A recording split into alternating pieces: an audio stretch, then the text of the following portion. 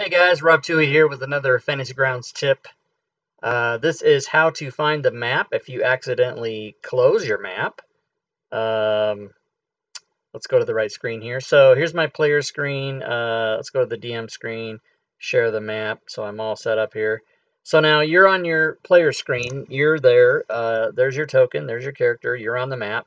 And maybe you have some windows open. Maybe you have the library open, the tokens window open whatever it is, uh, you've got all these windows open and you know, you've got this one open and this one open and you got a bunch of stuff open and you're like, let me close all this stuff. Let me just close it uh, and close everything. Whoops, I closed the map. Uh-oh, I lost the map.